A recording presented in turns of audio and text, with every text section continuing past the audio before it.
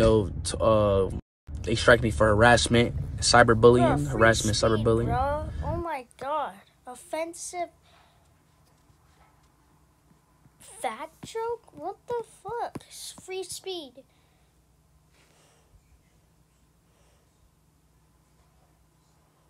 Oh my god, he got banned for a fucking like like for a fu- uh, he got banned for a stupid fart I mean fat joke. That's all he did, and he got banned on YouTube. Free fucking speed, man.